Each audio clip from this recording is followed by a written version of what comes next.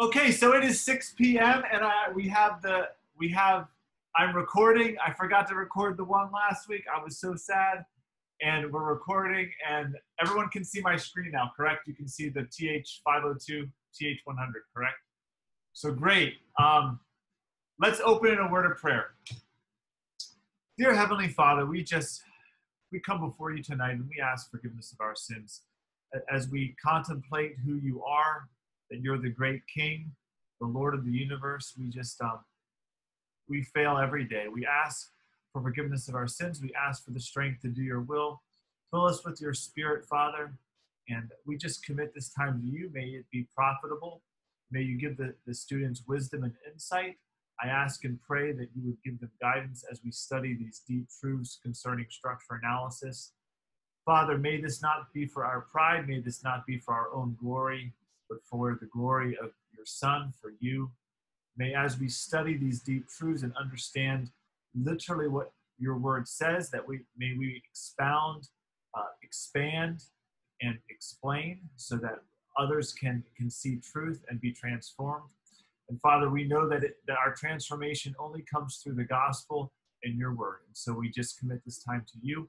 Uh, encourage the students, help them not to be stressed, and we ask for your blessing now in this time. It's in Jesus' name, our Lord and Savior, we pray all these things by faith alone.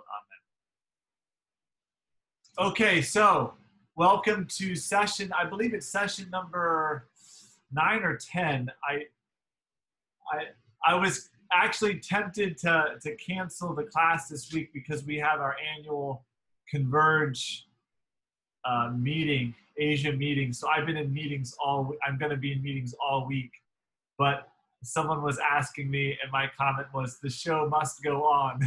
the show, the show must go on. So we are going to meet tonight, and by God's grace, tomorrow night, and then I'll crash on on Thursday. so uh, I'm glad that you all can make it in, and I'm sure more will be coming. We do have two, a couple new uh, um, visitors with us. I think some from outside of Region Eight, and so welcome uh, Peter, Paul, Ronaldo, you don't have to uh, uh, say anything, but just we're so thankful for you to be here. And there was some uh, technical issues last week that he wasn't able to attend, and so we're just glad to see Peter here. Maybe later Wilson will attend, if not next week. So, anyway, without further ado, we want to get back into what we were studying last week and continue the practice that we had last week. So, uh, for those of you who are who, who have the handout, the structure analysis intra-sentence analysis. So intra referring to the inside, salao, the inside of the sentence. And so we're analyzing the, the sentence. We're really going down to the parts. And the benefit of really understanding the parts is we can understand relationships. We can identify great truths that that might be clear, might not be clear, but maybe even will just come uh, just become very clear to us. And, and the reason for doing this is that a lot of times we we do understand language, we understand communication, but this is really going to highlight those truths that might not be readily apparent to us. And then we will put those truths before the people. We will put those truths before the people. And so, really, this is an expansion from last week. I'm not going to give new content. I do feel that some people were overwhelmed and so we're just going to go back. I'm going to review some of this this uh, handout just very briefly. I'm not going to spend a lot of time. And then we're just going to get back into the Word and just practice. We're just going to practice. Uh, hopefully, it, it, we'll be able to post the videos soon. And then, uh, of course, you always have the live now. The live is being recorded. Will be in this group. And so the benefit is for you to is for us to just really practice, to really uh, continue to practice um, and just to really become saturated with with this. And uh, the most beautiful buildings, the most the strongest structures are, are are those buildings that are that are that have a good structure and and someone who knows the structure. So the best buildings are those engineers that really understand um, uh, structural design, and steel, and concrete. And so in many ways, there, there's an analogy there. Thankfully, we don't have to build the structure. All we are, all that we are doing is we're just identifying the structure, and we're just going to analyze it and then put that before the people. Um, okay, so let's just go through this PowerPoint. I mean, not this PowerPoint, but this handout. I'm just going to highlight. We went through it last week. I just want to review. And I posted a revised. I posted a revised um, copy. So hopefully you will see this. And so let me just make this so that everyone can see here. Uh, 175. So everyone should be able to see this. And so uh, again, if you if you downloaded the the handout from from the group, if you received an email, you can print it out and use it as a tool, or you can just use it on your iPad or on your computer and you have the quick links here. And so really what we're looking at is uh, there's really three parts to this outline. Look, big, looking at a big picture. Number one, we're looking at foundational intra-sentence parts. So inside, again, in, just think intra, inside. Inter is between two. Uh, intra is inside. So you could even just write out uh, inside the sentence. So the foundational components of a sentence are verb, actor, and object. And so we just give you some of the locations of where they can be found, and then also um, also uh, um, the different types, the different types of verbs. And it looks like I still have a, an issue here. I thought I fixed this, so again, I apologize. This big this big describing foundational sentence part should be above this. Uh, so this should be this should be a step above. So there is an, an issue in the. Uh, I have to I have to fix that. Maybe just update. So, but this should be above. So you you have the foundational. We have the foundational intra-sentence parts, and then we have describing those foundational sentence parts. That's the second part. And so you have describing verbs and then also describing person, places, things, or concepts. And then we have the last section, which is connecting, which is connecting two sentences. Okay. So again, here's the big picture. If, for those who are attending for the first time, the big picture, if, if we can give you uh, a picture of what we're doing so you can see the structure. Essentially, you have two sentences here you have one on the left, one on the right. Within each sentence, every sentence will typically have at least a subject and a verb, but most of the time it's going to be an actor, subject, verb, or object. Okay, you're going to have these three fun fundamental components. Okay, and this is so important dealing with the gospel, dealing with salvation, dealing with different truths. Uh, again, repeating Martin Luther's famous quote theology is grammar applied. And so this is not a gram- grammatical analysis because grammat- grammar is, is really even a step deeper, but we're just looking at those big parts and logically identifying them. And for the most part, they're going to be the same. So you have an actor, you have a verb or an action, and then you also have the object. And then the, the components that are describing these foundational uh, components are in in grammar, you would call them adjectives or adverbs. We're just calling them describing verbs or describing person, places, or thing, or a person, place, or thing. So an object or an actor will have a word that describes them, and then a verb also has a, a word that describes or qualifies them. And these could be words, these could be phrases, or these could be clauses. Okay. Um, and so then we just talk through the, the different types of verbs and and so those different types of verbs they could be commands they could be a knowing statement. So a knowing statement is not an action it's just simply an act. I'm sorry the most fundamental or basic is typically an action. So the most common is an action i skipped it. And then of course you can have a command then you can have a knowing statement. So there's no action being done it's just what is it that someone knows or what is it something that what is it that someone wants you to know okay there's there's linking verbs they're just connecting to, typically a subject with some type of description those are linking there's prohibition verbs. So it's it's it's it's uh, prohibiting something. Now in the prohibition, typically I'm just going to combine the negative, the do not harden. Really, the verb is just do harden, and then the not is an adverb. But again, this is not a grammatical analysis. You're just identifying that verbal idea. And so the verbal idea is do not harden. Okay. So I'm making it easier for you. You don't have to split out, you know, helping verb, adverb. You just, what is that verbal action? Well, the, it's, it's, a, it's a negative command. It's a prohibition. Do not harden. So there's an example there um, for you. Um, and then you can have stative verbs. Stative verbs simply give you the state of, be, of being of something. The state of being can be where it is, um, how it feels. Uh, and so you have many different stative type verbs. And then we are we are identifying a statement, even though you could say a statement is a verbal action. Fair enough, you could identify as action.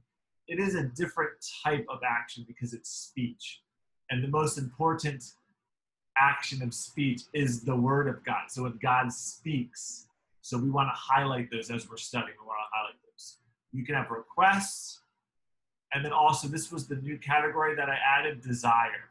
So uh, we can have this idea of a desire. It's not an action. It's not a thought. It's not a, uh, a command. It's not a request. It's this desire. So I desire, Paul declares in 1 Timothy 2 8, I desire then that in every place that men should pray. So Paul has this desire, this want for something to occur. Okay. Uh, after verbs, we have actors. So within the actors, uh, um, primarily here, you're just identifying who is doing the action. Who is doing the action? So it's very simple. You're going to look in the sentence and you're going to ask the question. You first identify the verb, and then you say, who is the one doing the action? Okay, and so typically you don't have to know grammar, you just have to know logic. Uh, so it's easy.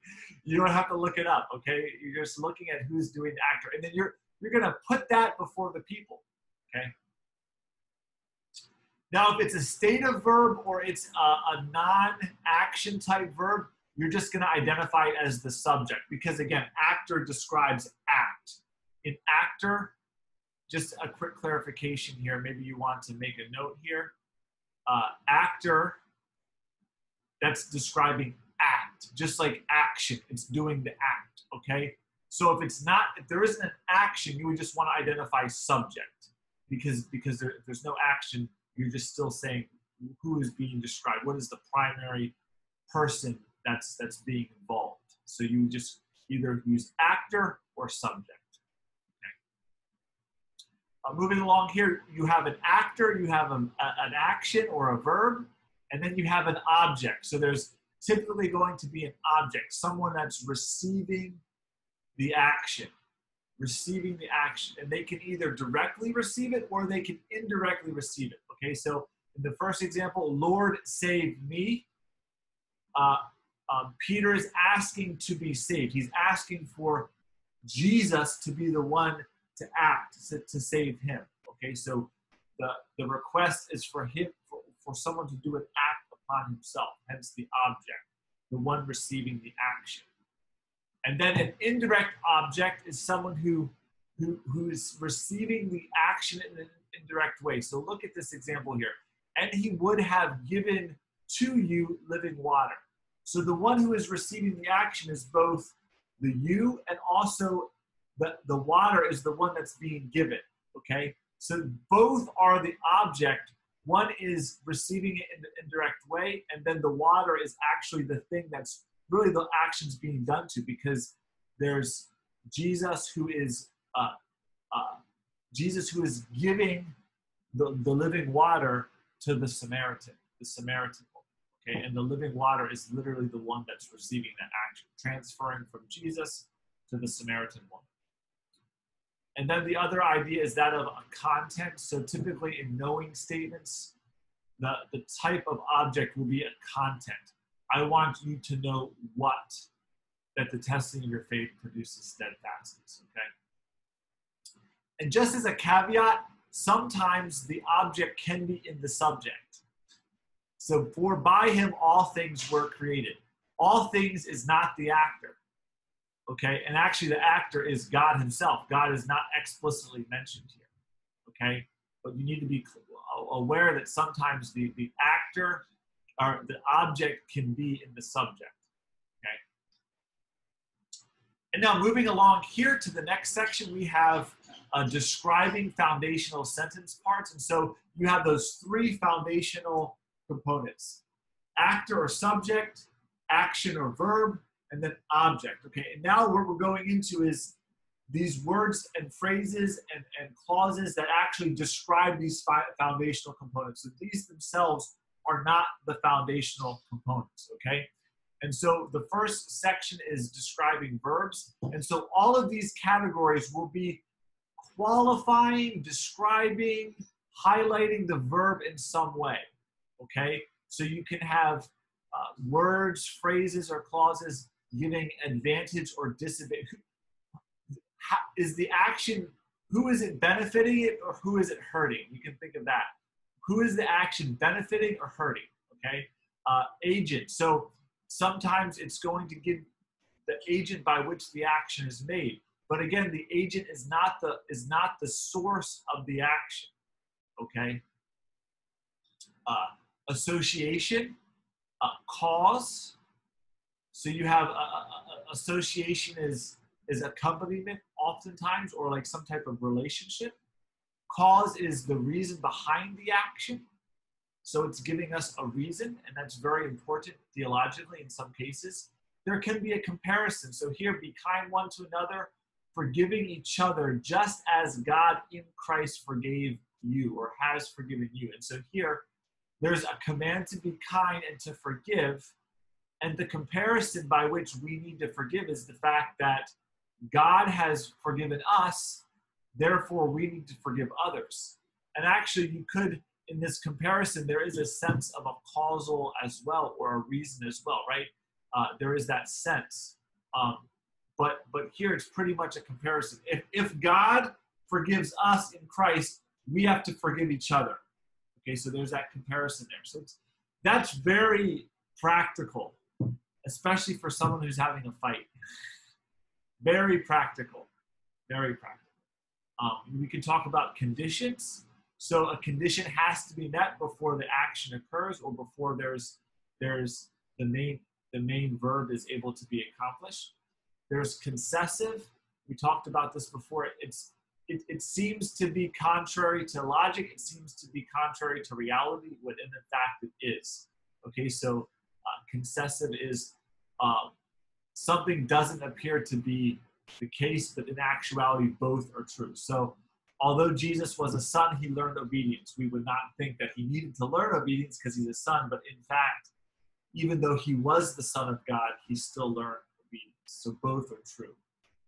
We can have location, we can have manner. Manner is the is the way or the, the the manner by which an action occurs. We can we can do an action angrily, we can do it happily, we can do it peacefully, we can do it with thanksgiving, we can do an action with grumbling. So these are manners. These are the the the way by which an action is carried out. Sometimes it's an emotion, sometimes it's this uh, emotive state. Okay, we refer to that as manner. Uh, means is typically the instrument by which an action is carried out. So whereas we are to, to pray in a, in, a, in a state, in a manner of thanksgiving, the means by which we are to make our requests be made known is through prayer and supplication. So the means is prayer and supplication to give our requests to God, and we're to do it with a thanksgiving, thankful heart. We can have opposition, we can have purpose.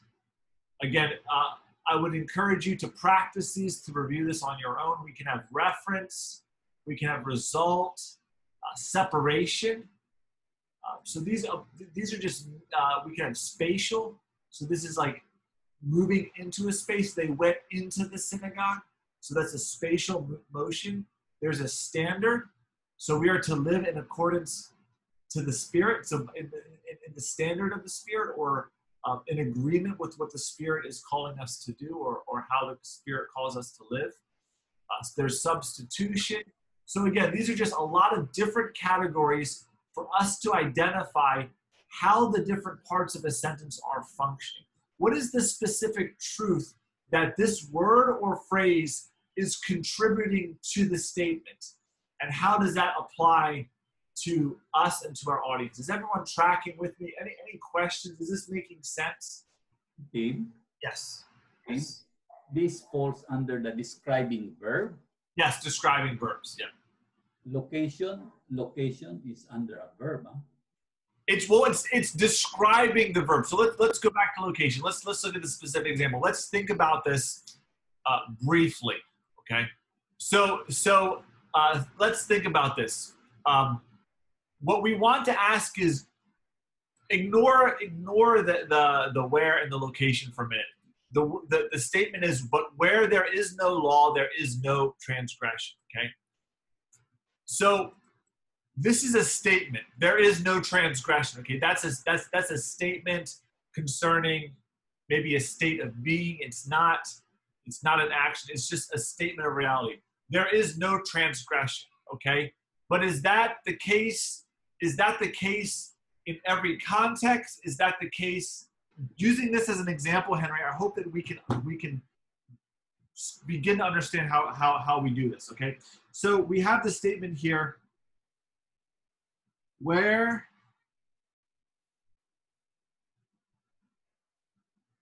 there is no law there is no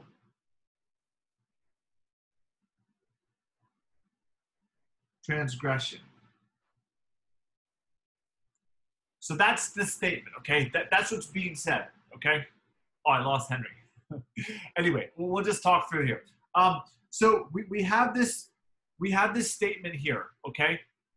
And so we can identify, if I'm working on this, I can identify that this is the main idea. And the reason why we know that this is the main verbal idea or the main is because this this can stand alone. A, a, a, clause has to be able to stand alone. Okay, so so we know that if we're just looking at if if we're just looking at where the if we just look first at this this clause, this does not this cannot stand alone.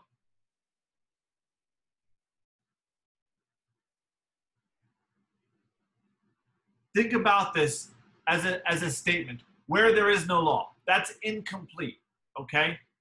If we just say, if we just say there is no transgression, that's a complete thought without qualification, okay? So what we can say, we, we can say is that this is the, is the main sentence, okay? And this is really the, the main, this is this is the main verbal idea, okay? And it's a state, okay? So then, so then coming back to here, we want to ask the question, how does this relate to this? We're asking that question, okay, Henry? Where there is no law, there is no transgression, okay? So this this clause right here, Diba, this is this is qualifying or we could say clarifying this statement, right? There is no transgression. Well, that's not true. There is transgression. People will sin all the time, okay? So so there so the, the first clause is going to provide a again, we're thinking logically. The first clause must be providing a qualification to the main verb, there is no transgression. Okay? And so then we have to ask the question, how is it being clarified? How is it being qualified? And so what I what I do is if I look if I look here at this word, what is that word? Well, where? That's that's providing a location. Just logically, where? When would be providing time? who would be providing, providing a person. So this is giving us a location, okay? And so what we're simply saying here is in describing, so th- this is describing verbs. What we're saying is there's words, clauses, and phrases that are qualifying this verbal idea. So, so, so you're correct in saying that location does not, it's not a verbal statement, but it is a qualifying statement. So maybe if you want to think of describing or qualifying or clarifying, that becomes very helpful. Does, does that make sense? So the big theological truth. Go ahead, yeah. Okay, okay. Good. Okay. No. So I, I and I belabor this point because Henry's asking a question, but I think all of us wrestle. For me, in the past, I wrestle with that. So so it's a very helpful question. Thank you for asking it, Henry. What I want us to be thinking about is that theologically, though, this is a this is a very important statement because what this is saying is is that um, if there is no law, there is no transgression, and if there is no transgression, God cannot bring judgment, right? there has to be a law, there has to be a standard so that there can be either a, an obedience or a disobedience. I cannot discipline my child if I do not give her a command. Diba? She could be going around ripping up my books, she could be breaking my screens. If I never told her, do not break my screen, I can't discipline her. So this is a this is a this is a fundamental, this is a foundational theological truth that the reason why God can, can punish, the reason why God can judge is because there has to be a law. So I, I hope that we're, we're seeing that this is a lot of work. This is deep. I understand it's deep. Maybe it's giving you a headache. I understand that. But, but there's, there's great truths that are being taught, and we're just identifying them. Okay, let's go back to. Um, uh, back. Yeah, okay, last. In, in Genesis, in Genesis the law, the first law that God has given to Adam was not to eat, not to eat. It's Genesis chapter 3, verse 3. That's the first law. Yeah, so that's the first, that's the yeah, that's the first explicit law in the text, yes. Okay.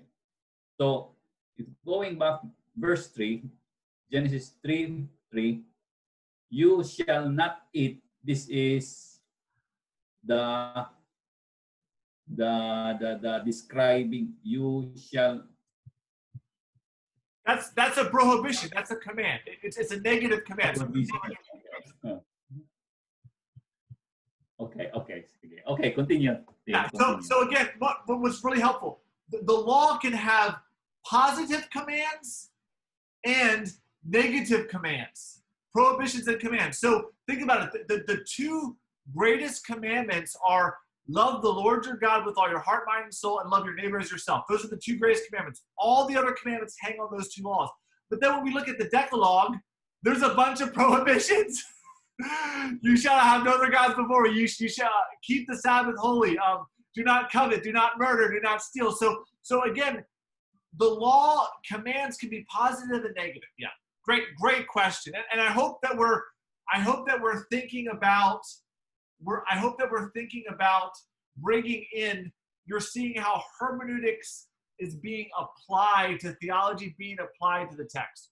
Great question, Henry. Okay, let's go on. I, I, I want to move along here. So that, yeah, go ahead. Yeah. Hello, team. Yes, go ahead. Yeah, this is Alex. I hope my line is not that choppy. Good. In criminal law, there is an analogy with that text that you're saying. Nolom krimen nila po na sinilege. There is no crime when there is no law punishing it. So by God's grace, I find it not that hard what you explain right now. It, it really makes sense. When there's no law, then there's no point of punishing the same.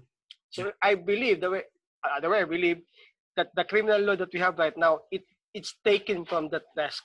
No. From that context.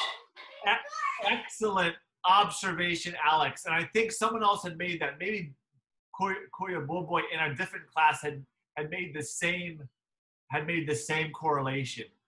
Excellent observation. our law is analogous to God's law. And, and I'm going to say one other thing because so Henry mentioned just for you to think about. Henry mentioned that that the first explicit law is do not eat, and, that would be an explicit command. Although there is a positive command in the be fruitful, multiply, have dominion, subdue. So so so I would say those are also commands. Now there's debate because people say that's the covenant of creation. Adam was the the Adamic covenant was the, the covenant with Adam. So there's debate there. But but but what I so so it could be more than just that first command. Um, the other thing I want to say is that in, in the gospel, Paul actually says that the law is written on our hearts. So even if we don't have the Mosaic law, everyone is still accountable because God's law is written on the heart of man. Anyway, that's that's a deeper. I don't want to go down that rabbit hole, but I want you to think about that. I want you to think about that because that really makes all men guilty, even in the distant tribal uh, place. Because people will say, "How is it fair for them?" Because they don't have a law. And, and, and Paul's response, which would be the word of God's response, which, which would be my response, is, "Well, no, God's law is written on man's heart, and so there is this internal, eternal law written on man's heart. Just a thought, think about it. Uh, um, and that comes back to what Alex said that you have to have a law to punish. So, anyway, I don't want to belabor that point. Um, that's yeah, just just to add into that theme, it's quite interesting because it makes it gives what's really the one of the characteristic of a God that we worship. Although he's powerful and sovereign, he's not he does not make things arbitrarily. He respects due process of law, notice and hearing and things like that. He himself exemplifies that perfectly. So that's that's very wonderful. No, that's good. Excellent observation, Alex. Thank you. Great. Okay, let's let's go on. If there's no other questions, you can interrupt me. I do want to move quickly here. So again, we reviewed this. This is a review from last week. I'm just repeating these things to kind of familiarize ourselves before we get into the text. So we have all of these different categories for describing verbs. And then we have, um, okay, there's time as well. So there's a lot. There's time is the last one, okay? Now we have uh, describing person, places, or things. Or these could be adjectives. These could be now. Uh, these could be adjectives. These could be words, phrases, or clauses that describe nouns. And a noun is a, a person, place, thing, or concept. So I'm just, I'm not giving you the word noun because we're not in grammar but we're just thinking about describing persons, places, things, or concepts. All right. And so again, there's all these different categories. There's just the most fundamental. It's a description. Everyone who believes that Jesus is the Christ has been born of God. And so, uh, who is the one who has been born? Everyone who believes. So it's very, it's, it's a description. It's, and, and Boy brought up the point that it could also be a condition. And in a sense, descriptions are conditions. The, the description is limiting a parameter. So um, uh, that is the case, but we still want to maintain those categories.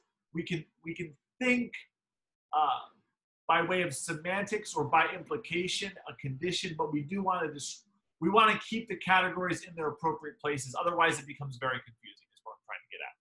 Um, so you can have a description, you can have a rename. So there is a man sent from God whose name was John. So whose name was John renames a man who is sent from God.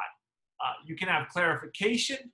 The Spirit searches all things, even the deep things of God. So really clarifying or becoming more specific. What are those things that the Spirit searches? The deep things of God. So maybe you're thinking that it's not the deep things of God not included. It's like no, no, no, no. It searches all things, even the deep things of God. So again, this is a, the, a deep theological truth, and highlighting this really uh, is beneficial to to ourselves and also to our our hearers, our, our members. Um, you can have possession. Uh, Thomas said, "My Lord, my God." So it's uh, possession. We can think of no. He's uh, not in a way of Thomas being the Lord of Christ, but really making Jesus his own. So there's this experiential relationship. When Thomas says, "My Lord, my God," he is he is uh, attaching himself to Jesus. He is uh, he is entering in this relationship, um, and so it's very powerful, very powerful. Even though it's a very simple statement. Um, and then, of course, you can have uh, relationship. Uh, and so the word describes some form of personal relationship, relationship with the, the word that is related. So we, we give thanks to God, the Father of our Lord Jesus Christ. So it's describing a relationship, how God is relating. Now, some people would say, oh, it's a clarification or a renaming. We give th- thanks to God. Which God? Our Father and Lord. Fair enough. So, again, I hope we can also see that these are not black and white categories. Maybe you're going to have a different category. And, and this is just giving us a guide to further quantify, qualify, explain the text. So it's not a black and white issue. Um, we can have source, and that's pretty much it. Maybe you, you can think of another category, you can add it. And if it's a good category, send me a message and we can add it as well. And then lastly, we just have connecting sentences. So these are connecting words. Two sentences can be placed in a relationship, and it's through a connecting word. So the big ideas are alternative, contrast, emphatic. Uh, it could also be explanatory, inferential, or inference, uh, progression, uh, series, transitional. So these again are different categories. And so really the only way for you to become good at these would be for you to read through them and then just really start practicing with them. Okay? In my class in seminary, we had like a test and my teacher would test us on these. So I'm not going to do that to you, but in some ways, that's what it will take for you to become good in these categories. And, and we're just going to be then using these in our teaching here we are. If you want to turn in your Bibles to Romans chapter 1, verses 16 to 17. So, what I'm going to do is, whew, I'm just going to quickly review. So, we identified every word or every uh, phrase we're, we're, we're giving some type of relationship here, okay? And so we, uh, we identified I am not ashamed as a state. This is a state of being. It's with reference to the gospel. The subject is Paul. Uh, and then the relationship is this idea. We, we notice that there is a, the second clause is qualifying the first in some way. And that way is a cause. So, so the second clause for it is the power of God for salvation to everyone who believes, to the Jew first and also to the Greek. That's qualifying or giving the reason, the cause by which Paul is not ashamed. Okay? And and we, we notice a description. In here we have the the gospel is the power of God. So what is the description or what is the relationship? What, what, what is the gospel? Why is it that the gospel does not bring shame but confidence to Paul's life? And the reason is that the gospel contains the power of God in relationship to what?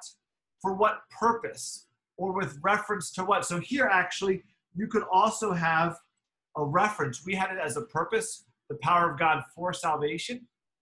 Um, but you maybe you could have reference but i would want i would want to go i would want to go with with purpose with purpose there. It's for salvation. And then who is it concerning? Who is it concerning? It's concerning everyone but there's a condition or there's a description. It's not everyone unconditionally. It's not everyone without qualification. There is a qualification and that qualification is everyone who believes. Okay? Now you will notice within this clause there is a there is an action. This belief is a verb. Okay, it's not the main verb, but it's, it's providing an action. And then there's a further clarification to the Jew first and also to the Greek. Okay, so that's that's that's where as far as we got. And so now we're going to go to the next sentence. Verse 17 For in it the righteousness of God is revealed from faith for faith. From faith for faith. So I'm just going to again work word by word how I would do it, I would really recommend you take notes on how I do it and just follow my example. So the first thing I'm going to do is I always look for the main verb. I'm always looking for the main verb. Here, what is the main verb? So I'm asking the question, what is the main verb? So I would not go to, to, to the actor. I would not go to other things. I, the, typically, the verb is the biggest word in the sentence. So you want to work from big to small. It'll be much easier than trying to just pick one word at a time because you could get confusing. So when I look logically, what is the main verb? I notice here that you have this th these two words is revealed is revealed okay does everyone see why I chose that is revealed so then I'm going to go back to I'm going to go back to my let me just fix this here so it's quicker for us to flip. All right, so I'm going to go back to my to my handout. Let's just go back to the beginning here. So I'm going to go I've identified the verb and I want to ask what kind of verb. So what I would do is I would just go to this handout and I would go and I would just start going down each one until I became comfortable. I would just go each one. Uh, number one category. It is the process of accomplishing something or typically the accomplishment of a task or aim. Action. So then I come back to my word is revealed. Is is revealed an action? Yes, right? Just logically, is revealed. That sounds like an action. So I'm just going to identify as, as an action.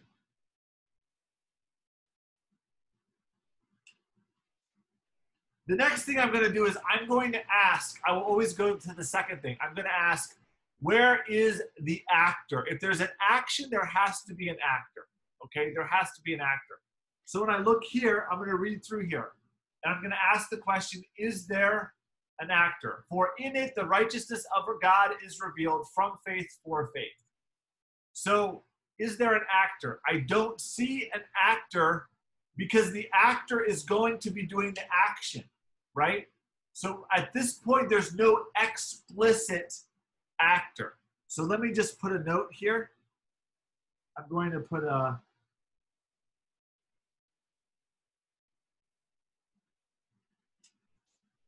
and I'm not going to answer it, right? There's no explicit actor, okay?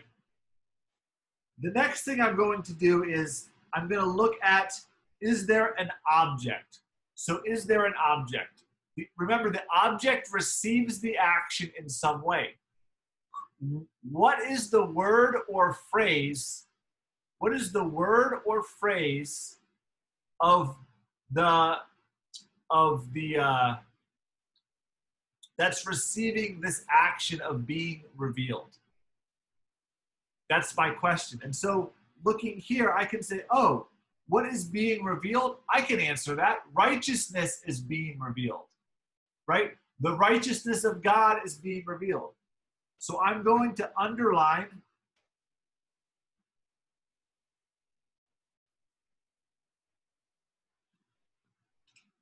this is my object.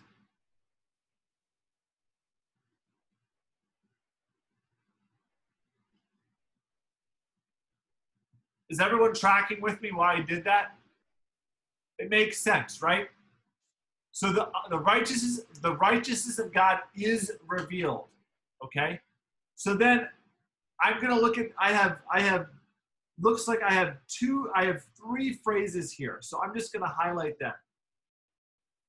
Unless they're directly describing a noun, if they're just kind of out there without describing a noun, a person, place, or thing, I go, my default will be the describing verbs, okay?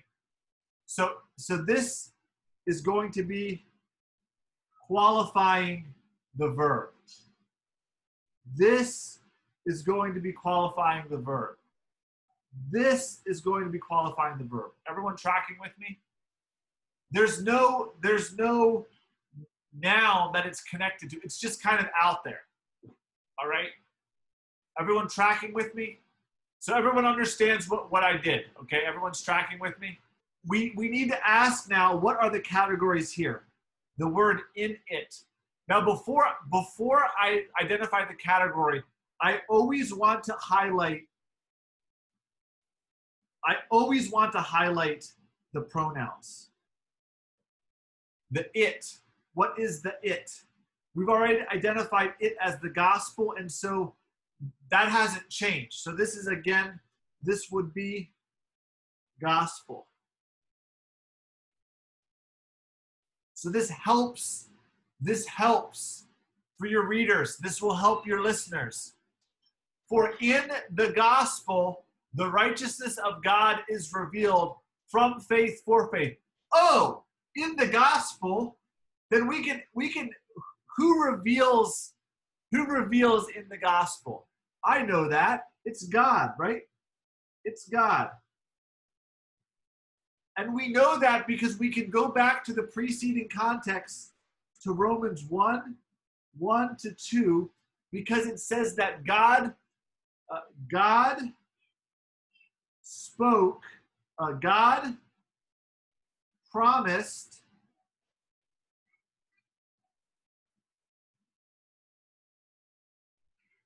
beforehand in the prophetic writings. Or maybe it's through the prophets.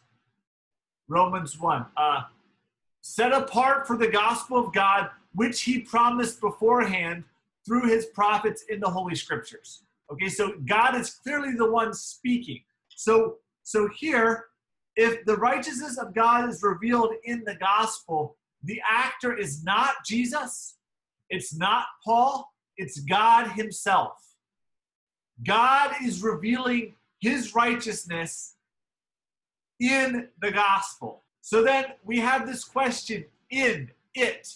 It what is that precise relationship? So let's go back let's go back to our handout. I'm going to go again back to the beginning. I always start back at the beginning. We're looking at describing verbs now. We're looking at describing verbs. Oh, so I'm going to come back up here. And I'm going to start at the beginning. So what I'm look what I'm going to look at now is I'm going to look at in. What type of word is in? Okay? So as I come down here, I'm looking for keywords. I'm looking for keywords. So none there, none there. Let's just keep going here. Uh, with, that doesn't help me. Doesn't help me. I'm to keep going down. I'm to keep going down. So let's just say we're going, going, going. Ah, location, location. What about location? What about location? Now, we only have one keyword here. Maybe I should add a keyword. But do you notice how in is providing us a location? Does everyone see that? I don't have the keyword in, but do you see how in functions? Sa Tagalog, sa, right? Sa, that's giving location. Sa loob, sa labas, sa bahay, sa cuarto, right? It's, it's giving location. So, so again, logically speaking, and so we're asking the question, the qualification where is God revealing the righteousness of God? So we're asking the question, where? Do you see how now the key word is location? Where is the God where is the righteousness of God being revealed? Where? In the gospel. Is everyone tracking with me? Is that making sense? Good. So this is all that we're going to be doing, okay? Let's finish out here, okay? Last two and we'll be done. From faith, for faith. So we can go back to our handout. We go through all the, the, the, the, the, the procedure. I'm not going to do that again. Uh, I'm going to give you a cheat from faith. So this could be dealing with um, a source. Um, And then for faith, purpose. Now, there's different debates here. Some people say it's uh, uh, this is from uh, this is the faith of God, and this is for our faith. Okay, so the source, it's coming from God. The source by which it's being revealed is God's faithfulness. That's the cause, the source by which He then reveals. All right, that that's very possible. That's a great. We'll, we'll see later if you study Romans. That's true. Other people will say this is this is uh um, this is like a time reference, more logic from uh, uh, faith first to last. Okay?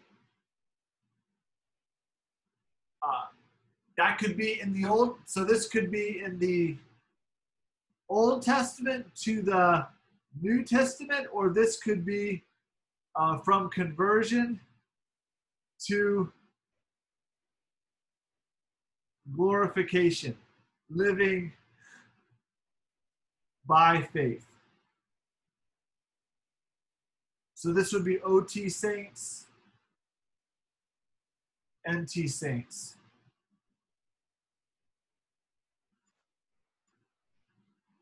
So is everyone tracking how it might not be as clear? But so my perspective, when I preach this, I would not choose one. I think that this is a pregnant idea, and Paul, all, all three of these possibilities, one, two, three, all of these can be proven throughout Roman, throughout Romans. And people say, you gotta choose one. And in the and in the hermeneutical process, we typically would choose one but it's just so pregnant. It's so full of information. I want to say, no, all of these concepts are true in Paul's gospel. All of them can be defended very strongly.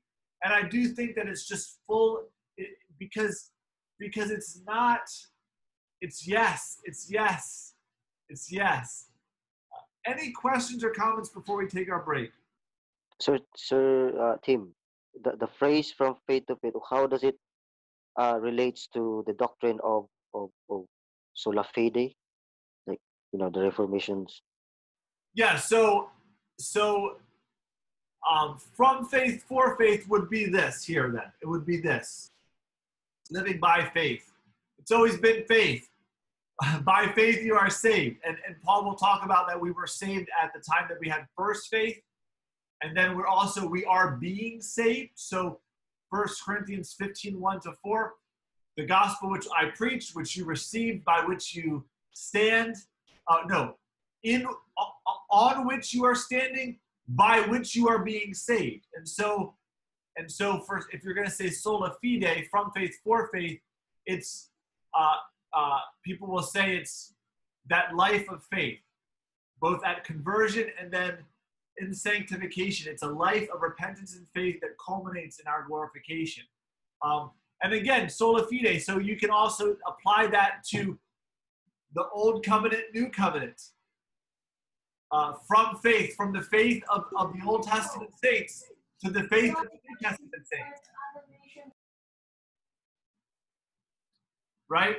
And actually, that's what the argument of Hebrews is making. The hall of faith their faith is not complete without the perseverance and the running of the New Testament saints. Look at Hebrews 11 to 12.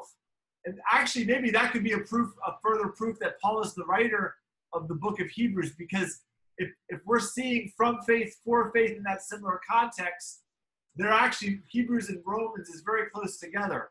Um, and in Romans, you have the faith of Abraham is the pattern by which then we also have faith. Is that making sense, Sonny? Is that kind of your question? Uh, from faith, uh, where where is faith come come from? From man's effort or from God? So so that would be that's a great question, Mark. But I don't think that this specific text is addressing that question. I think Ephesians 2, 8, and 9 really addresses that question. Romans 12, 3 addresses the question. And also uh, Hebrews 12, 1 and 2. And so in Hebrews 12, 1 and 2, we're called to lay aside every weight and every sin that easily entangles us and to run the race with patience, looking to Jesus, the author and perfecter of our faith. And so if you were to, if you were to ask the question, um, wh- where does faith come from? We must say Jesus, the author and perfecter. We exercise the faith. We are the ones exercising the faith, but the source of the faith and the perfection of the faith is Jesus himself. So, so yeah, I don't think this particular text. Now, it, maybe it will, it will be teased out in Romans. So, so 12 Romans 12 3 gives us the, the source that God is measuring out the faith, right? So Romans answers that question mark, but in this particular ta- passage, I don't think it clearly specifies um, where that origin actually comes from. Although Paul will answer it later. Thank you, Pastor Tim. Great question. These are the type of questions you want to be asking. And Mark, uh, if you were preaching this, you would want to touch on that. You could touch on that, and you can bring in these other passages. Um, but sometimes we have to be careful that that's a question that as we research, we're like, okay, it's beyond the scope of this passage, although we need to touch on it because we're talking about faith. And uh, that's important but this passage doesn't explicitly answer it. So we want to maintain that in the text, in the text that we're really getting from the text. Let's continue here. Now, what I'm going to do to make this easier is that because there's a, a, a, a citation of the word of, of scripture here, I'm actually going to so when you're when you're exi- when you're doing this process as well, you should also break this out uh, because there's going to be two more verbs. That's why. And this is actually a scriptural citation.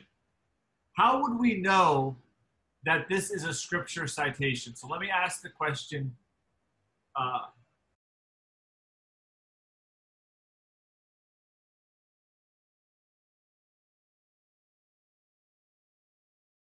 how do we know this? How do we know that this here is a, a, a citation of scripture? The word itself, as it because of the quotation. Ah, okay, no, good. So number one, number one, uh, the text specifies it. So we have explicit citation. Great, excellent. So that's number one. And then a non biblical reason, but all your Bibles should have. What's the second? If, if you miss this part, what, what would be the second reason? That should give you a, a very clear. What's the second way? Quotation mark. Oh, okay, great. Quotation mark. Excellent. So then we have we have quotation marks. So we have quotation marks. So and then what's the third? Third. If you miss the quotation mark, what's the third way that you can be sure? Looking in your Bibles. As it is as it as is it written. is written. Yeah, so that's As it is that's the explicit. That's the explicit here. There's one other way. Is it not mentioned in the footnote? yeah, in go to step Bible. Yeah, okay, Step Bible or in the footnote. You buy the footnote. Let, let's go to Step Bible. Let's go to Step Bible here.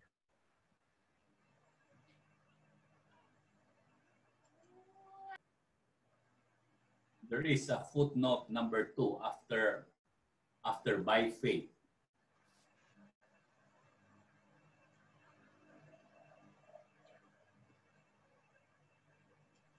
So here, we're looking here, Step Bible. We're going to go Romans 1, 16 to 17.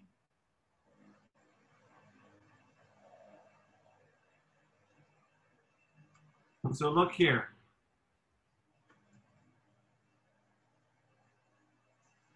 H.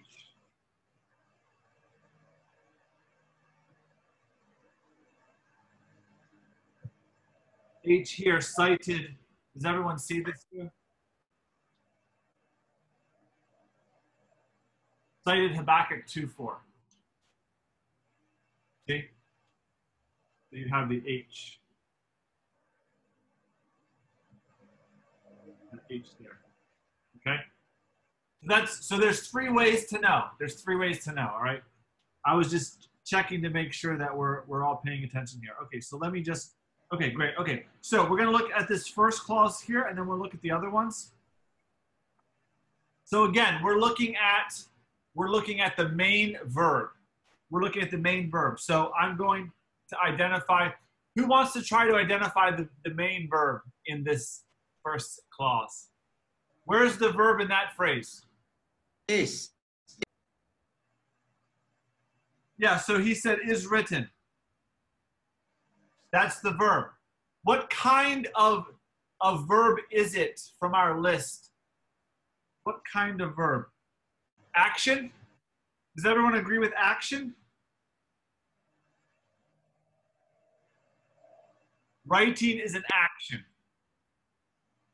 Written is already done. That's not anymore action. So wait, wait. So uh Corey Boba, can you I I missed the part. Go ahead. It's written is already done. Yeah, the so action is done. Yeah, so you could say if you want to further clarify, this is a past act. If you want to go deep, past action, right? Good. I'm not requiring that, but if you want to go there, you can in your own in your own work. Okay. As it is written, so then so then it is the object. Who is the actor? Who is the actor?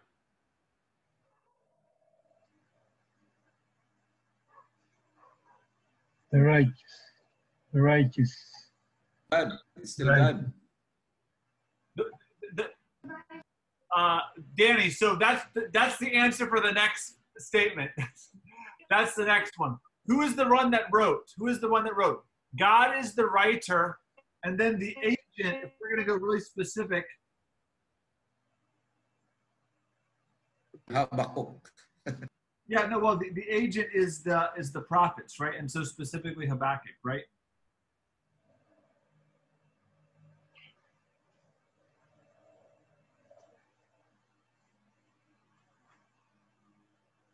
It's very important. Uh, scripture is not considered the writing of man. Okay? The, the prophets are just the agents by which God speaks and thus writes. That's why it's called the Word of God. Okay? What kind of word is, let someone else try. What kind of word is this? or what's let's let's ask this what's the relationship here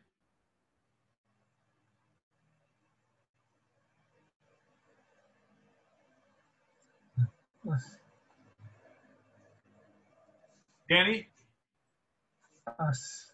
Just, uh, the time. so as would that so so it, so you're you think it's time let's write this down here so I think it's reference. someone said reference but anyone else anyone else want to try any others State, danny uh, uh henry state, i i, I missed state. The state, state.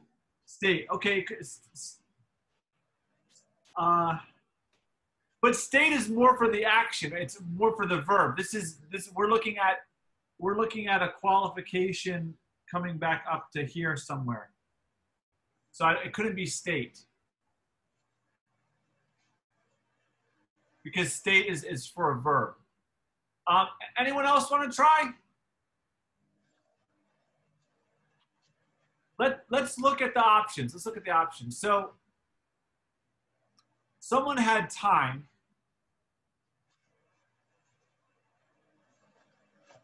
But when I come down to time, describes the time surrounding the main verb. It can be antecedent, contemporary, or subsequent. So the question is, does this word, does as indicate time?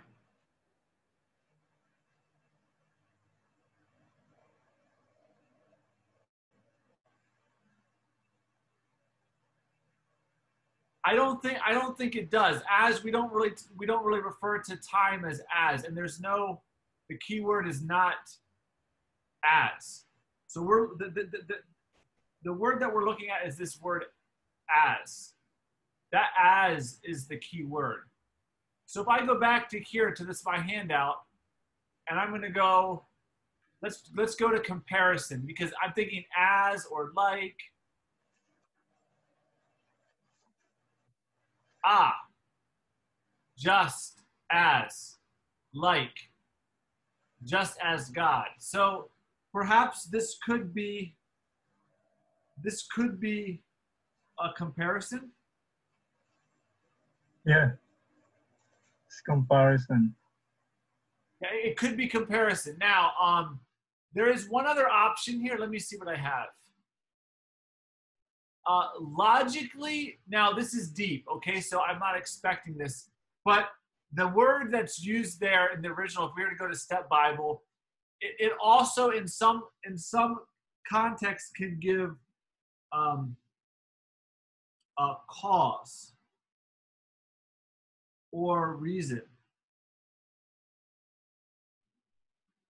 Now it's debate. It's it, you know it's deep, okay? But if but if but if we if so it could give it could give uh, cause or reason. So again, let's think logically. Let's think logically here, okay? For in it the righteousness of God is revealed from faith for faith, just as it has been written, or as it has been written.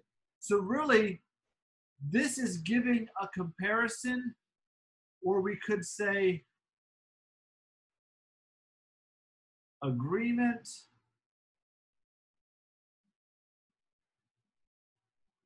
or there is a sense in which we could say cause, right? Where, uh, with what is the relationship to this righteousness being revealed? Well, it was revealed in in agreement with, in comparison with, or because the Word of God said it. Does everyone see that relationship there? Ask a question if that does not make sense. I don't want to rush this. I want you to think. I don't want you to be stressed. So you could choose comparison or cause. Both are possible. So it's in agreement. It's in agreement with what has been written. The gospel is re- so let's let's re before we go on, let's rewrite this so it's more clear. Let's rewrite this so that so that it's more clear. Sometimes because it's difficult to let's write it in a way that's clear. God has revealed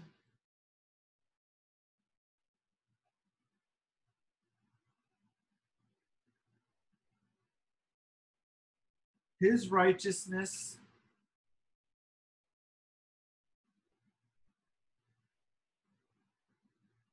in the gospel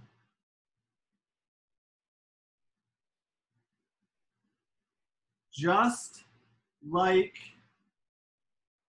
it has been written. Or because it has been written.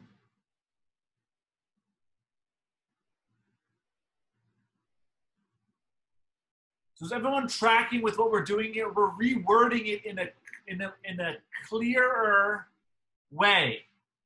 Okay, so God has revealed his righteousness in the gospel just like it has been written, or because it has been written. So here, this is kind of more of a, a basis. And that makes logical sense. That makes logical sense, correct? That makes logical sense. Boy, uh, And it also, yeah, can it also be more appropriate if you use the word since instead Yes. of because or just like? excellent, excellent. You're thinking. You're thinking now. You're using your head. Excellent, because here, these are these are almost synonymous. These are almost synonymous. So you could absolutely use since. The way it is written, I think since makes more sense than because. Yes. Because because usually connotes reason. There must be a reason. There's a reason. or this is more of the sense of basis. Right. That's it. That's it. That's it. That's And maybe I'll rethink. Uh, maybe we can add some category because there's a nuance there. Excellent work, oh boy, excellent work. And I hope so. So I, I hope this is making sense. We're looking at relationships. Don't be stressed. You are gonna fall on your face. You're gonna get it sometimes. It's fine, but we're getting somewhere. We're getting somewhere. Think about the deep truth that's here. God's righteousness is revealed in the gospel. Since it has been written, what is the content of what has been written? So I'm just going to give you the tidbit here. So the relationship from here to here, this is the content. This is the content of what has been written. Okay? What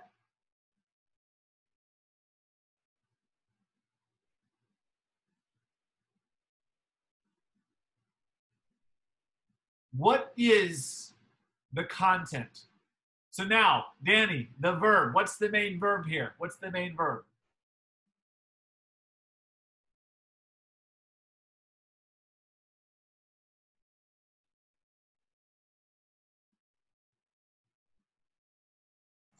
Shall live.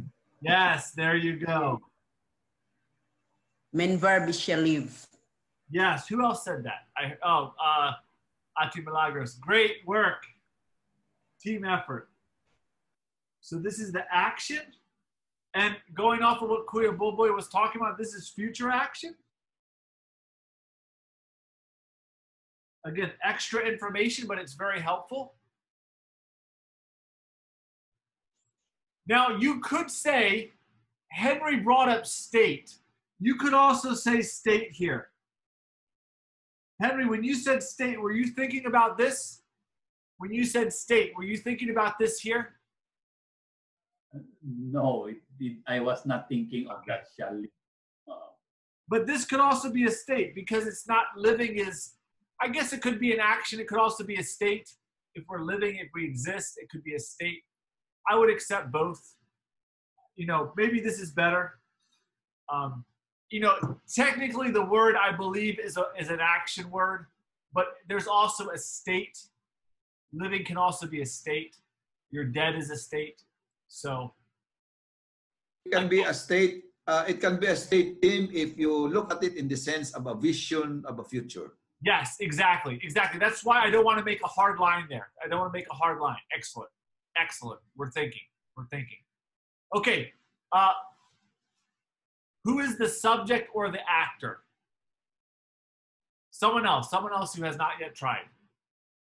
Righteous. Righteous.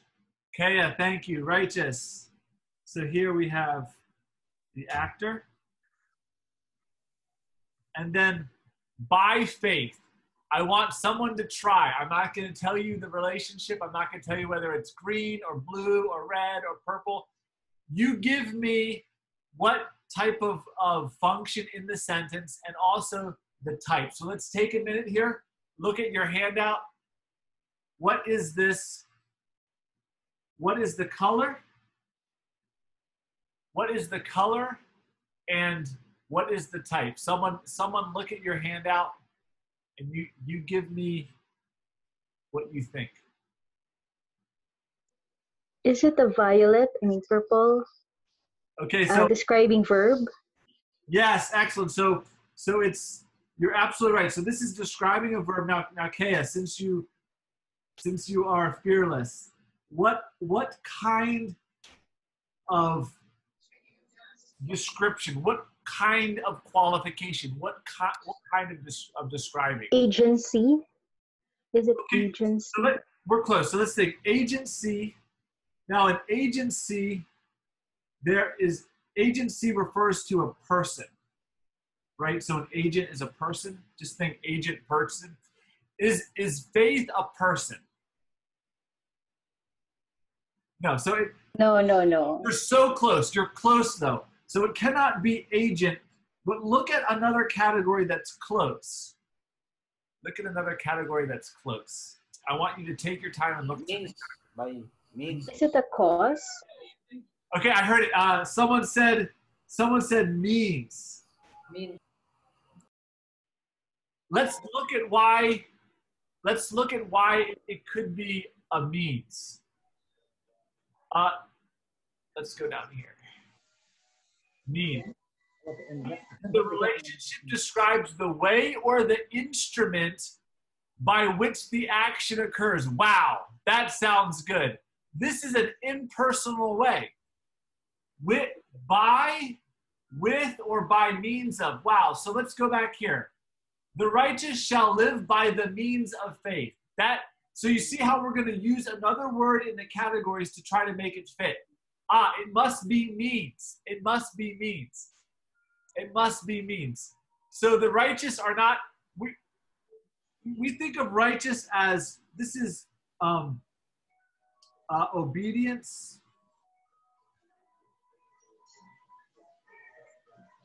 to law.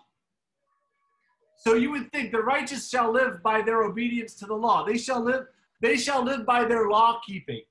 And actually in the Old Testament, it says, no, the righteous shall live by faith. Very powerful. Very powerful. There's no, there's no even reference to the righteous shall live by faith and by works, right? The righteous shall live by faith and by works. No, that's wrong. So when someone says, yeah, you have to have faith, you have to have works, the implication is that they're side by side. And that's wrong. Rather, the image is this this is a person. Internally, there is faith in Christ. This is internal. Okay? Then the external. The external is works.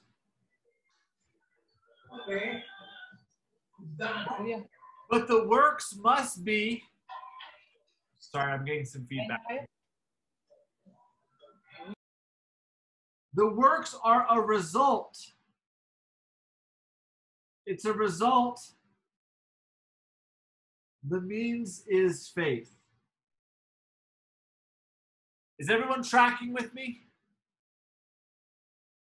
Everyone's tracking with me here. So, this is again, this is Theology 101. This is deep. This is good, right? And so, we actually will see this we will actually see this pattern throughout. And so, uh, for those who attended Christianity 101 and Romans chapter 8, right? The, the, the, the faith, the spirit was the internal, the result, the outworking was the works. But the works were merely the result, they're not part of the, the salvation, okay? So you're confusing means, source, and result. So this is why source means result are different categories and they cannot be confused. When you start confusing them, that's when the heresy starts coming in. That's when that's when that's that's the work of Satan. Okay? So I hope we can see this here, all right? Any questions or comments or this make this is I hope this is making sense. I hope this is making sense. Okay, let's go on now. Let's practice on another passage and we're going to really I'm going to start calling upon you. I'm going to start calling upon you. All right? So we're going to start in Romans, turning your Bibles to Romans chapter 3, verse 19. So what I'm going to do is I'm going to just show you how I break this apart. To look at sentence parts, this is how I break it apart. Okay, so we just have the text here. We'll just finish out a time tonight practicing through this. So I'm going to read the text and then we're going to work through it, okay? If you have paper, if you have a computer, I would encourage you start just follow my process and write down the, write down the steps. Write down the steps and, and, and so you'll be able to start to see the, the method. Okay, so I'm going to read the word of God first and then we're going to break it down. And this is really picking up Romans 1 16 17. It's picking up. Just watch. Now we know that whatever the law says, it speaks to those who are under the law, so that every mouth may be stopped and the whole world may be held accountable to God. For by works of the law, look at that. Just, I'm not saying anything. I'm not saying anything. For by works of the law, no human being will be justified in his sight since through the law comes a knowledge of sin. But now the righteousness of God has been revealed, has been manifested apart from the law, although the law and the prophets bear witness to it. The righteous, righteousness of God through faith in Jesus Christ for all who believe. For there is no distinction. For all have sinned and fall short of the glory of God, and all are justified by his grace as a gift through the redemption that is in Christ Jesus, whom God put forward as a propitiation by his blood to be received by faith. this was to show God's righteousness because in his divine forbearance he passed over sins. It was to show his righteousness at the present time so that he might be just and the justifier of the one who has faith in Jesus. Okay, so this is how we're going to break it down, okay? First thing I'm going to do. It's like, oh my goodness, Tim, there's so much. How do I how do I do this? How do I do this? Okay. First thing I wanted to see here, okay? So what I'm going to do is I'm going to first I'm just going to I'm going to highlight all of the keys to separate out the sentence. We have a capital letter N here. We have a comma here we have a comma here. We have a period here.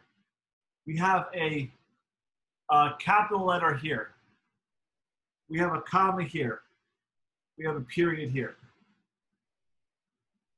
So I'm that's the first thing. You highlight all the commas, all the punctuation, the capital, and the periods. Okay, so then this is how we break it down. Okay, so I'm gonna go here.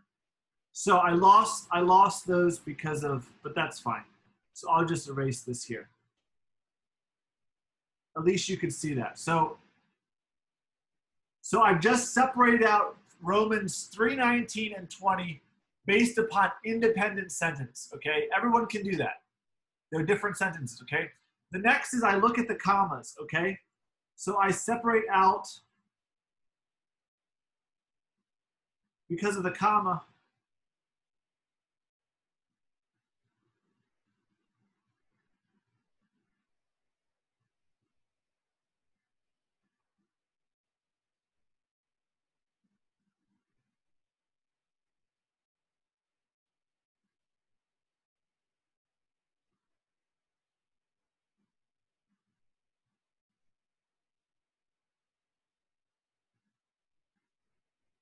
So does everyone see that? I just broke out, I broke out the two sentences, okay?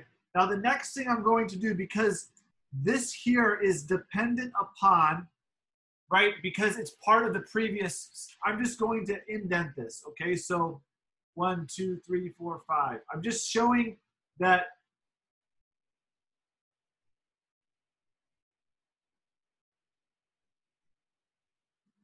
the main sentence in, in 319 is now we know that whatever the law speaks, it speaks to those under the law. Then you have a comma, and then so that that's that's that's like a clarification. So it's it's the, these are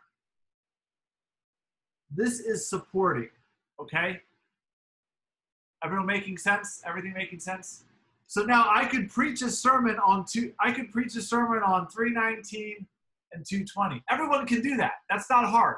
You're just looking at commas, you're looking at periods, and now we're getting to we're getting to sentence structure. We're getting to we're getting to it, okay? So let's just again, let's let's just indent this so that it's clear. Since. So now we just broke it out. We broke it out, okay? We still have a ways to go. It's still stressful. I'm not trying to make saying it's not, but at least we have a direction here, okay? And this is how I would work through every passage, especially in the letters. This is how I would do it. And this is the, the, the your your outline is just going to be revealed before your eyes. So let me just erase this really quick. Question, does anyone have a question?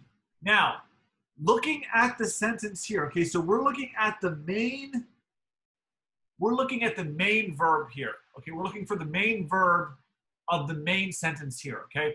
I'm going to start reading. Now we know that. This has to be the main idea. No. Yeah. Now we know that. Okay? So let's let's go back to our handout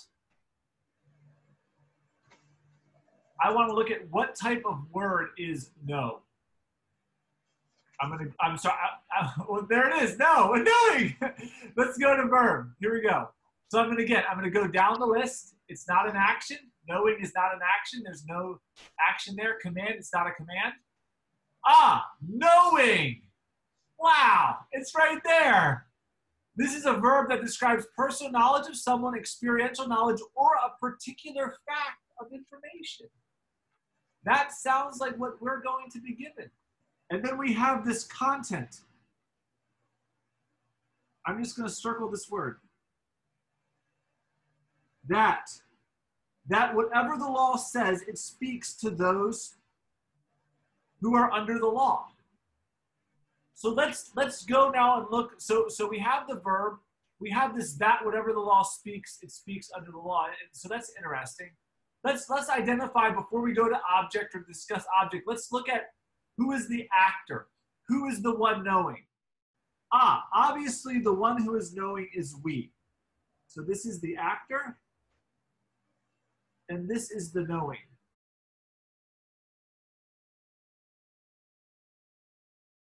We, with knowing the actor and knowing, or you could say subject because there isn't there isn't really a, uh, an action occurring here. You could also put subject if you chose. What is the content? So now we're looking for, with knowing, we're looking for content. What is the content of knowing? So when then, whenever, maybe you want to make a note here. Whenever you have a content verb, you're going to look for the, uh, whenever you have a knowing verb, you're going to want to know what is the content, the person of that verb? Okay, it's either going to be a person or it's going to be a fact or some experiential. Okay, so so we have that that clue in the word that. Let's go back to our our our, our handout. All right, so I'm going to go back here to object. So I'm looking at object here. It's not a direct object, not an indirect object. Ah, content. This is the specific substance of a knowledge statement. So look here, that the testing of your faith produces steadfastness. This is the content. Okay? So the key word, maybe I'll add later in, the, in my second edition, the key word is that. The key word is that. So for all content statements, you're looking for this word that. The content that we know is this.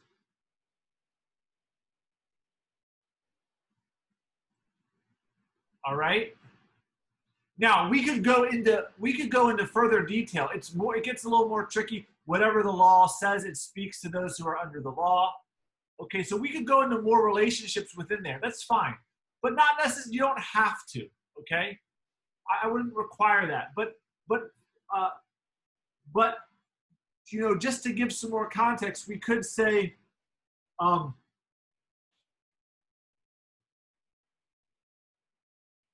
this is a description here.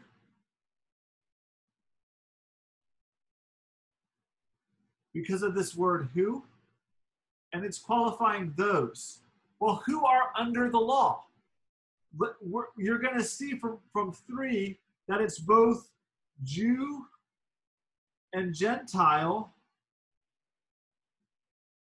or all people. Okay, this is just looking at Romans 2, Romans, uh, this would be looking at Romans, Romans 1, 18 to 3, 18. Okay.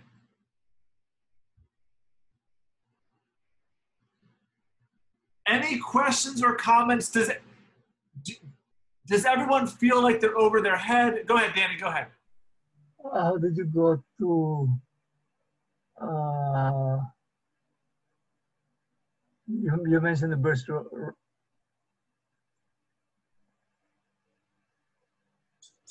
so i'm just i was giving a theological we're, we don't have to do this now but i was just clarifying who it is that are under the law i'm just you would want to look back to see who it is that are under the law romans uh, 1 1 118 to 318 essentially says that all are under the law. Jews, uh, here, let's just go. I'll, I'll give an example here. Let's go into Step Bible. So we can go to Romans, Romans 2.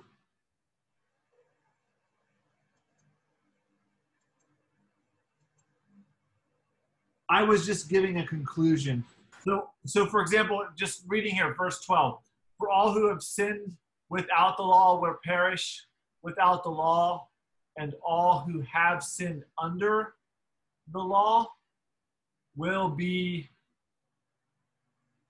judged by the law. For it is not the hearers of the law who are righteous before God, but the doers of the law who will be justified. Justified, and it's Gentiles and Jews. The, the, the, the, the, it's written on the Gentiles' heart. Okay, so I, I wasn't, you know, I didn't want to go here because of the time, but just to, it was, I guess it's helping in clarifying who it is that are under the law. Okay. That word, that word, that, that, that, we know and we know that, that must be very important. Yes. Excellent. So whenever we have, whenever we have this combination,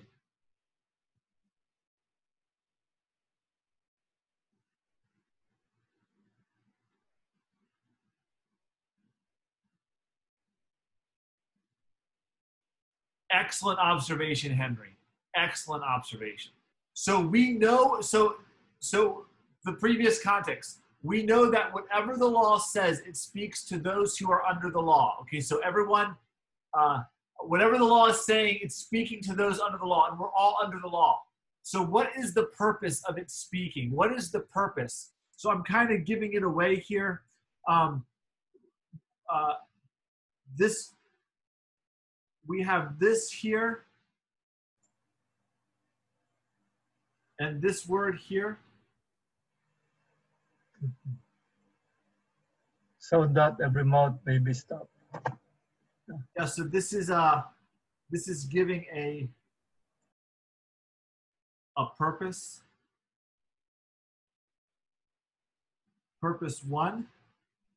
So let's just go back to our, our handout just so that you can see where I'm getting that. So if we come down now to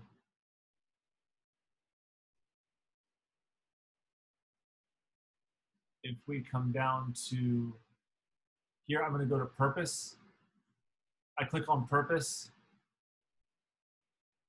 Look at the keywords here. So that, that. So there is a little bit of overlap. Sometimes you will, will uh, that will not be a content. and will be also giving purpose, Henry. So there is there is a, a caveat there, but the no and the that is the key. No and that right next to each other. That's the key. Okay, but we have purpose here. Purpose so that. Purpose one, so that what? What is the purpose of the law speaking to those under the law? What is the purpose? What is the purpose of the law? Is the purpose of the law that that everyone can actually be saved by the law? Action, action. This is an action here.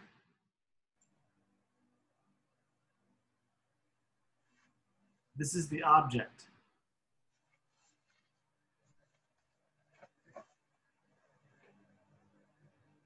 So, who is stopping the mouth from speaking? Who is the actor here?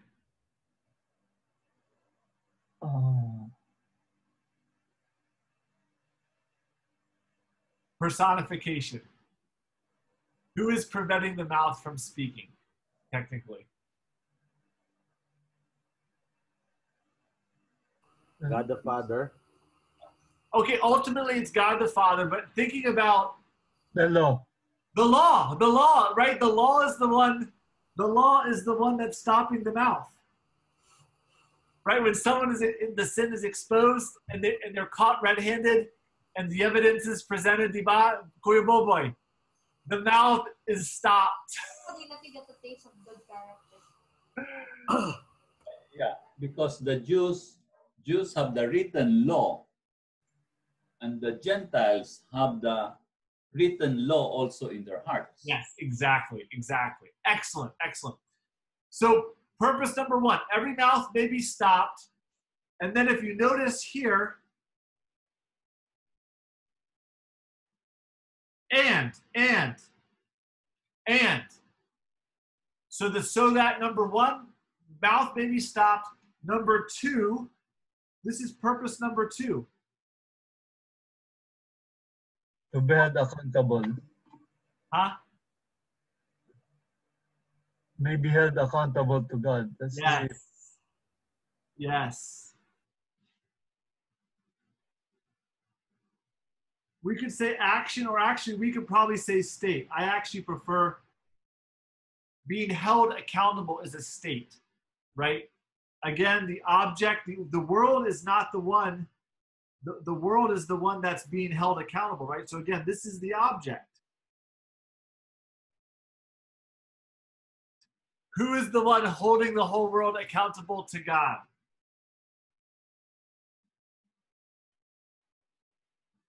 Still the law. Uh, yes. Yes. The law is holding the whole world accountable to God. Is this making sense for everyone? Is, is, is it okay? Okay, okay, Pa? Yes, yes. Okay. Yes, Pastor. let's let's take a break okay we'll do one minute and then everyone can come back so one minute everyone can come back how do you feel do you feel stressed do you feel like oh man i'm getting this. It's coming. Getting this, faster. yes. Yeah it's good. So we'll do So, from verse 19, there are only two kinds of people here in this world. Those who, who try to who try to apply uh, to um, obedience to the law as their salvation, and another is uh, by works. Yeah. for salvation. So there are only two kinds of people here in this world. Yeah. No, and So that both, so that the whole world, the world, the whole world. Yeah, so no, that's a great observation, Henry, because what you're seeing then is that is this.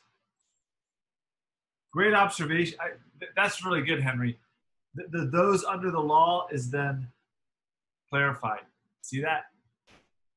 The whole world will be held accountable. So those under the law, which are Jew and Gentile, it's really the whole world. Yeah.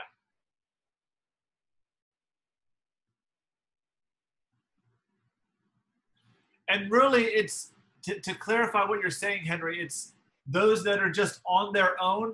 You're on your own no matter what. You're under the law. There's another way. But un, under the category of law by yourself yeah that's it. Or there's this other way perhaps. Perhaps we'll see that. I don't want to get it away.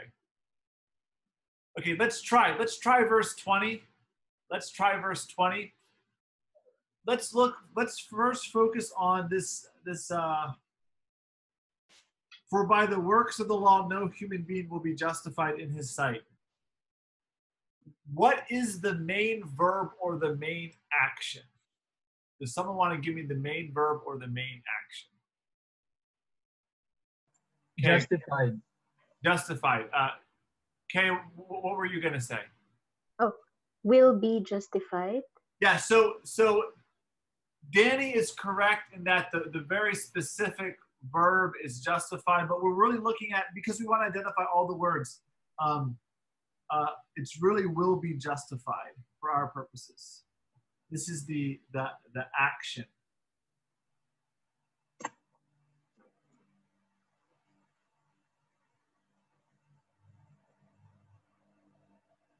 What is what i- who is the actor who is the actor The human being. are you sure are you Is sure it the law? Yeah, there's no, no human being.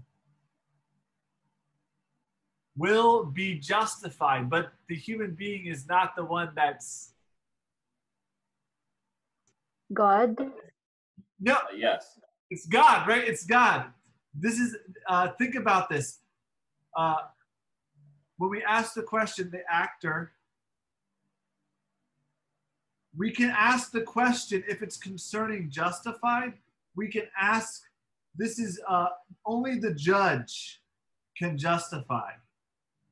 Only the judge can justify. Or another word for this we can we can say declare righteous declare to be in the right?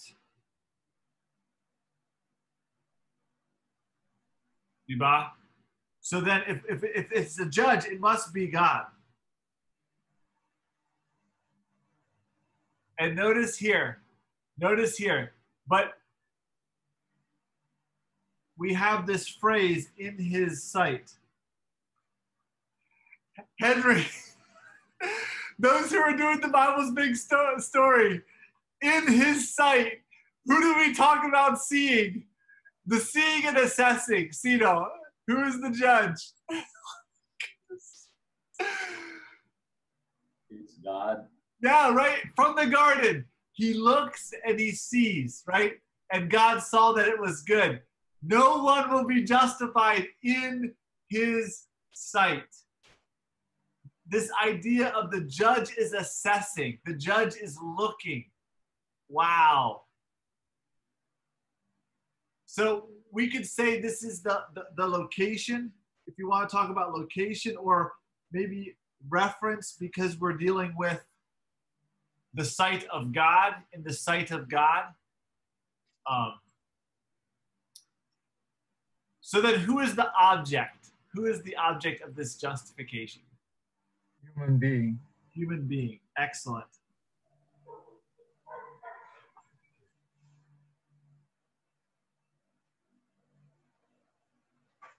Now, now, we have, we've come back to these words here.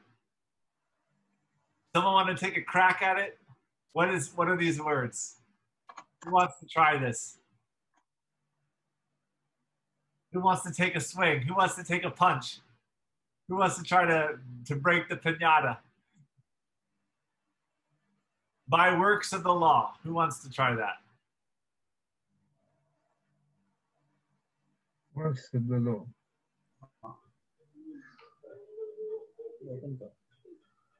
So there's two phrases here. I'm going to split them up. I'm going to split them up just so that you can see the depth. You don't have to split them up, but I'm going to split them up.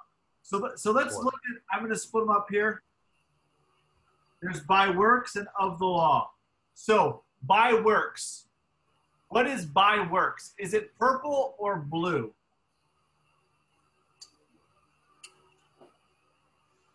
Is, it, Works of the law. is by works describing is it is it connected or is it more describing a verb or is it describing a, a noun Describing a noun.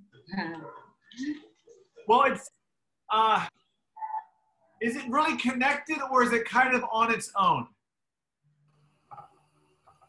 It's connected, Tim. huh I think it's connected. yeah, Referring it's to an adverb yeah so this is an adverb so It is connected. Yes. yeah, this It's, is, is it means, Pastor? yes we you should have been- yes that's uh Kaya is correct. This is a means. And the key is there by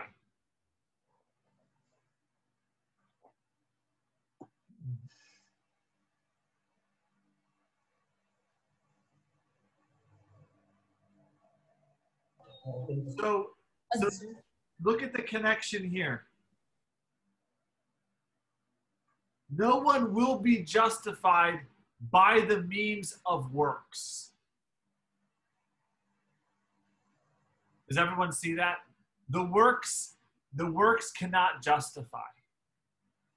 They cannot be a means by which someone, the judge, will justify. Okay?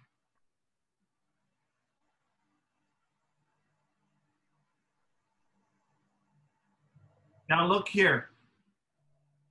This of the law, does everyone see how this is modifying?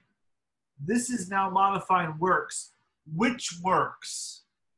We could say we're going to use this idea of reference. The works with reference to what? Right? Because we are saved by the work of Christ. If it, if let's just change this. If this were to say of Christ, by the works of Christ, we will be justified. Do you see that? So we can flip it around. So it's not that it, it's not that by works, period, someone will not be justified. It's by works of the law. So these are the if this is the work of Christ, we can be justified. Just, what I'm trying to get at is that this is really modifying. Is everyone tracking with me? I don't, I don't mean to be confusing.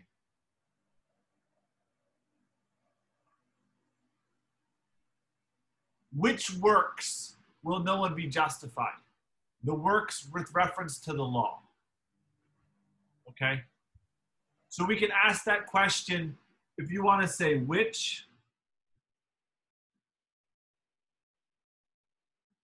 That's dealing with reference.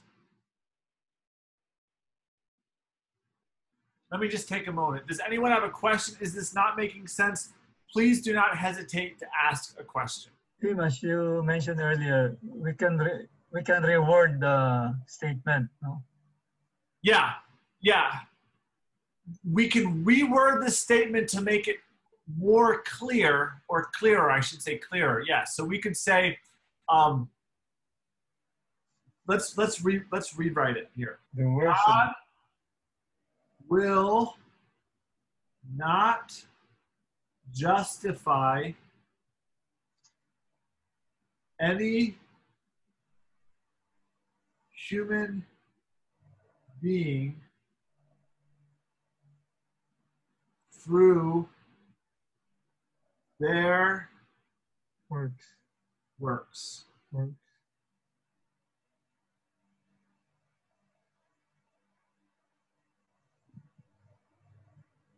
Of So now we're we're getting it very specific, very clear. We're re so this could be something that you could do to give a major point when you're preaching, reword it so it's clear. And you have the actor, you have the verb, you have the object, you have the means. So this is actor, action, means. So anyone who's saying works and faith justify, wrong, no, sorry. This is the clearest of any scripture. The context, the context is a court room setting. There is the presence of a law. There is a presence of a judge. There is a presence of a verdict. Comparing to James, there's Don't forget, no- don't forget the accused. yes, yes, the accused. So, so when people contrast James and Romans, we should we clarify the clear of Romans with the maybe a little bit unclear of James, or should Romans clarify James? This is the clear. This is why one of the hermeneutic, uh, Augustine's principle, the un, the clear explains the unclear. Now, Sigurado, my view is that really Paul says the exact same thing as James in the Gospel of Romans. So I'm not saying the two are against, but some people will debate it. And so what I'm saying is, is that in the debate, what is more clear? What is clearer? Romans is crystal. So you can either say the Word of God has a mistake. It would be very difficult to reinterpret Romans in line of James. It just would be, it's, impo- it's impossible. It's impossible. It's impossible. This is explicit. Now watch this. We're going to come back to this word in a moment. Let's look here now. So, does someone want to try?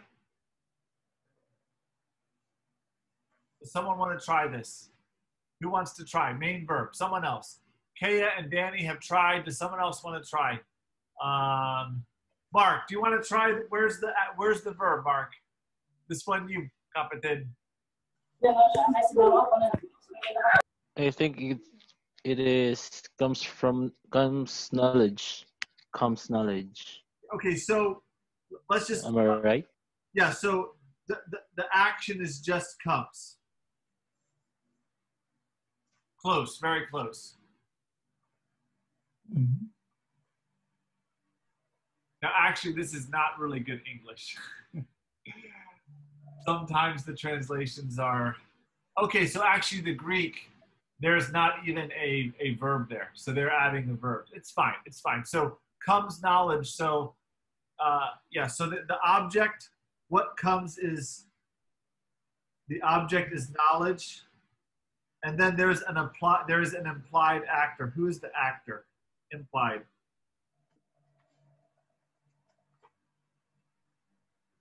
Actually, it's it's really weak. I mean, the the law. Uh, let's just leave this out here. The it's a little bit difficult here. The the the law is the means, right? The, it's through the law that there comes a knowledge of sin. Okay, so if we're looking at the actor, what is the one that's bringing the knowledge of sin? It's also, in a sense, the law, right? It's the, the, the law, in, in a sense, it's the law, is also the actor. Does everyone see that? Or we could say, we could say that we are the actors because the knowledge is being given to us. We are becoming aware of the knowledge of sin through the law. So let's rewrite this. early first part of this verse. Yeah. Now, while we are referring to works of the law, why would we consider it like work in a in, in a general sense?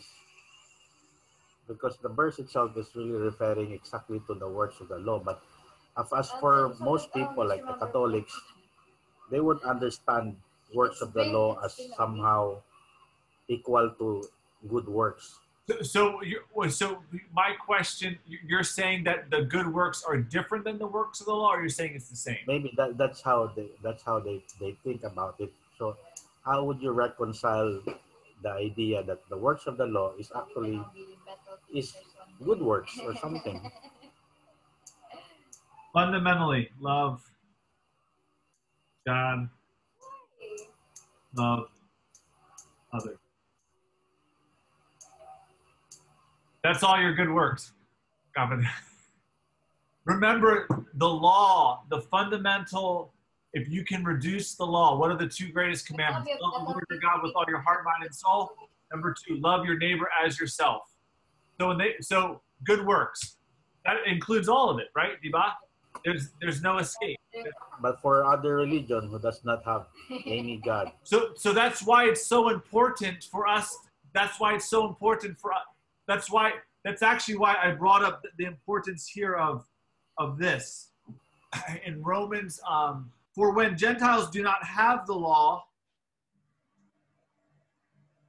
uh, by nature do what the law requires, they are a law to themselves. Verse 15 they show that the work of the law is written on their hearts. So what Paul's argument is that there's is that is that everyone is under the law. So even if the Catholic were to say, you know, well no, yeah, I can't do that. It's my good works.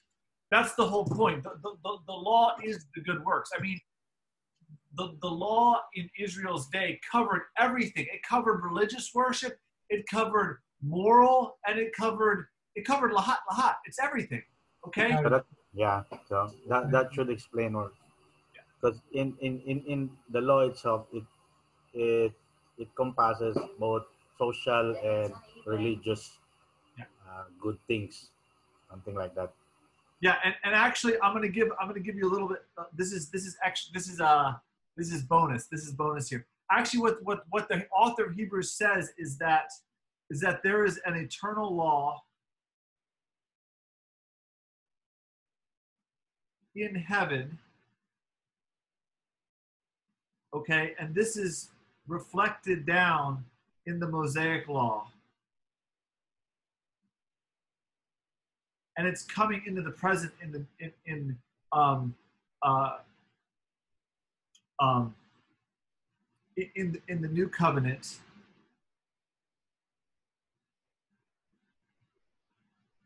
but in reality this is pointing back to the same thing.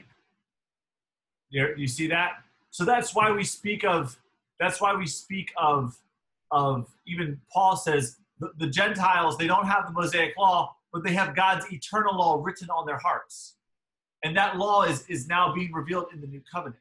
There isn't there isn't this different view of morality through the history. It's always been one morality. Okay there's always been one morality. Even jesus you've heard it said but it's you know i say to you it was never that in the old testament it was okay to lust in your heart and now you can't. It's always been like that. They were just abusing abusing and using. They were abusers and users you know what i'm saying uh, so and that's why it's that's why a lot of these these these fundamental truths are so foundational for gospel proclamation.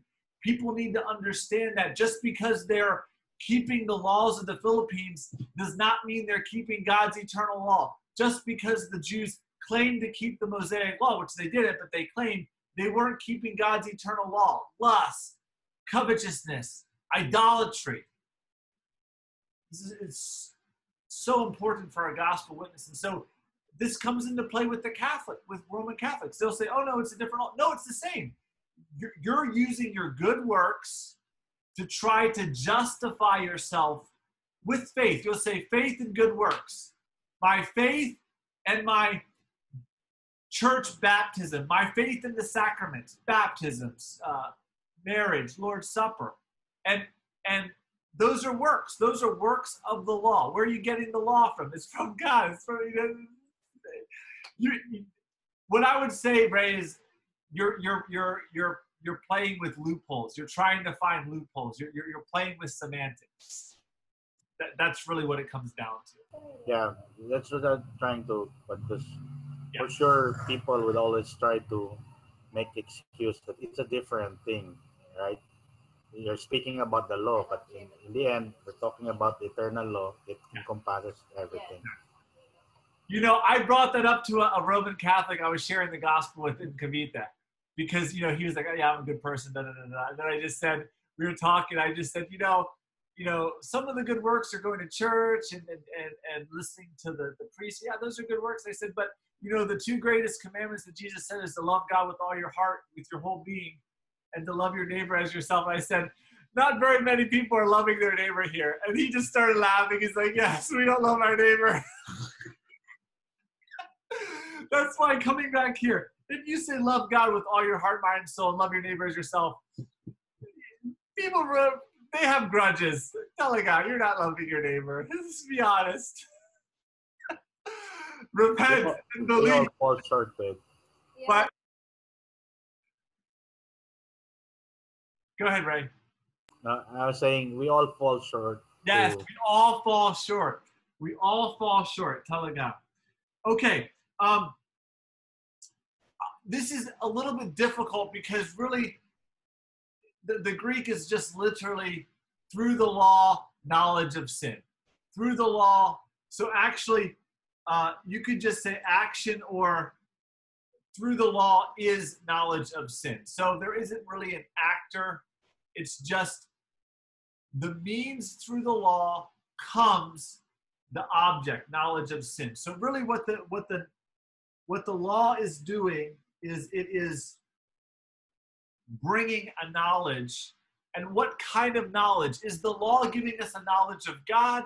Is the law giving us a knowledge of nature? No it's giving us again reference knowledge of sin is coming through the law knowledge with reference to what knowledge about what sin sin Pastor, um, question. Could we, I mean, rephrase it to man comes to know sin through the law? Yes, you could also say that. Yes, excellent. Excellent. Let's write that down.